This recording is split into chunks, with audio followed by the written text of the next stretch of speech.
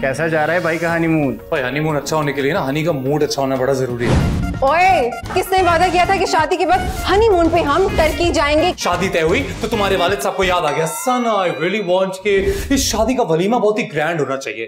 उनके ग्रैंड करने के चक्कर में मेरी बैंड बच गई।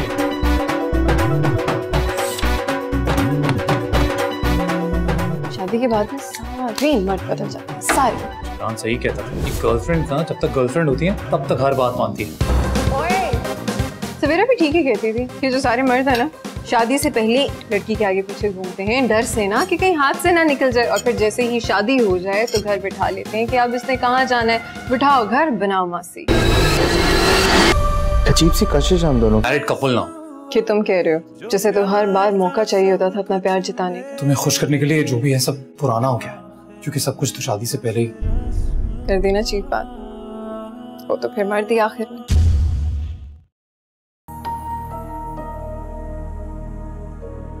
you.